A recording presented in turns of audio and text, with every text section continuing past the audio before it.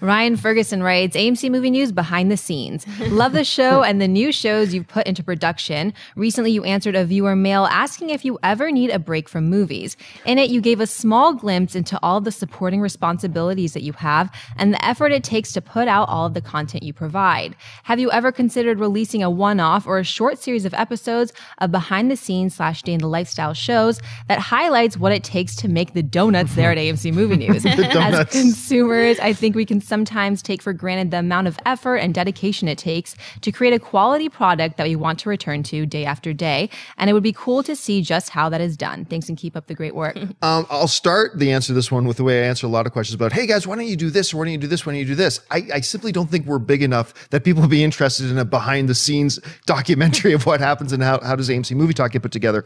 But aside from that, um, it's it's an interesting concept but then how do we do that? We don't have the money to hire some documentary crew to follow us around. Dennis is quite busy uh, doing what he's doing. Thank you very much. His production guys, Ray and, and Jonathan, they're quite busy. So no one has time to kind Periscope. of. Periscope. Here we go. Here we go. There we go. Christian Harloff has just answered the question. Follow me on Periscope, and I'm gonna do every time I'm on. Every time I'm on, I'll do behind the scenes. How about that? You think I was joking earlier? Said he followed me into my office this morning. Hey, John. Yeah, I did. I was like, "What are we doing?" I felt like Robert Downey Jr. What are we doing? Yeah, what's going on? Um, so it's an interesting concept. I, I, I, I just don't know that it would be that interesting. Okay, uh, let me take that back. I would hire a doc- documentary film crew just to follow Ashley Mover around, just to catch the things that she says. Oh, that is before the true. camera Well, if you listen to to. El- if you listen to Ellis, follow her around four or five years ago.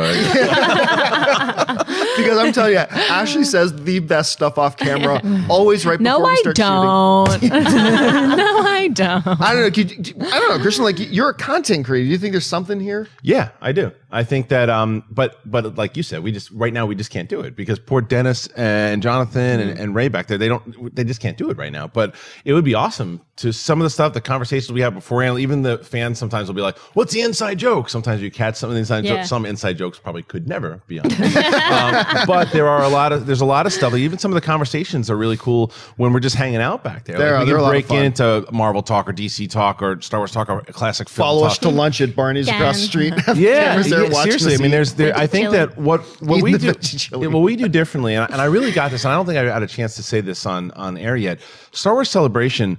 The fans were really one of the coolest things that made that experience. Is this somehow going to become a point about Darth Plagueis? No, it's not. It is not. It is not. It is. It's, it's going to be about a point about the AMC Movie Talk fans Oh, because they were awesome. They were so great, and what it, it has done, what, what we've done here is, yeah, we're just people who share our opinions on film, but we are on camera. We are. We do show our personalities here, you know, and people res- either respond to that or they don't respond to that, and.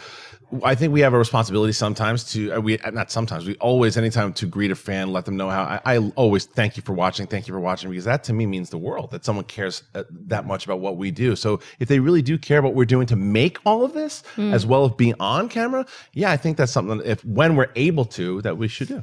Yeah, I don't think we have the manpower to put up more videos on YouTube than we currently do because we're already, these guys are working at full Yeah. capacity to get all the shows up and running. But I think Periscope could be a good solution Yeah. that each of us have our own little thing and we can show what we're doing. I mean, it'll be fascinating to watch me watch 16 movies for Rewind. Dennis Dennis sitting told Dennis day. told sorry Dennis told me he actually almost deleted this email, so we didn't even think about it. You- to make it, to drive the point home, like talking about how busy our production team is. Like yesterday, I, this is absolute true story. I'm I've got a, do, uh, a documentary. I've got a editorial that's going to come out in the next couple of days uh, called the, "The Five Reasons Batman versus Superman is Going to Work."